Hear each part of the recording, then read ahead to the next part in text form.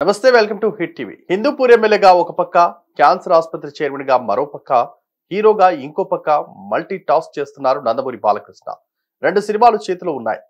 ఆయన చేస్తాను అంటే రెడీగా నిర్మాతలు ఉన్నారు దర్శకులు ఉన్నారు.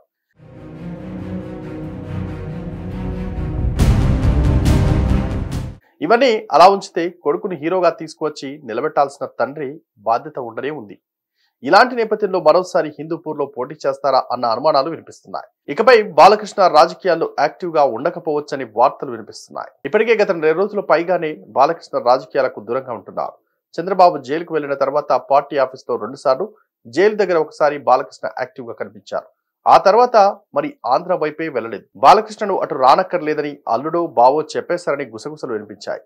అవెంతవరకు నిజమో తెలియదు కానీ బాలకృష్ణ అయితే భగవంత్ కేసరి తర్వాత కాస్త ఖాళీ దొరికినా అటు వెళ్ళలేదు. చంద్రబాబు జైలు నుంచి వచ్చిన తర్వాత కలిసి కాళ్ళకు దండం పెట్టారు.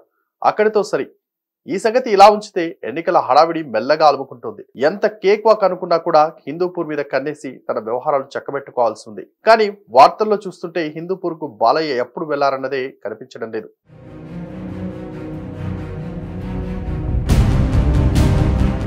తెలుగుదేశం ప్రభుత్వం వచ్చినా రాకున్నా బాలకృష్ణకు పోయేదేమీ లేదు. గత ఐదేళ్ళ కేసీఆర్ జగన్ ప్రభుత్వాల్లో కూడా బాలకృష్ణ ఏమీ ఇబ్బంది పడలేదు.